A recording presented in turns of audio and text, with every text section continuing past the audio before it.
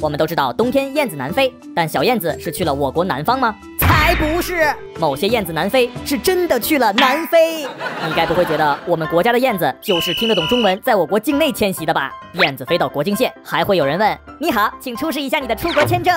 根本没有啊！我国燕子种类很多，常见的家燕冬天会飞到我国南方，甚至东南亚过冬。但还有一种和家燕没什么亲戚关系的雨燕，不客气的笑了。有一群科学家给北京雨燕装上了定位仪，想要看一看它南飞到底去了哪儿。小燕子向南飞吧，明年春天再见。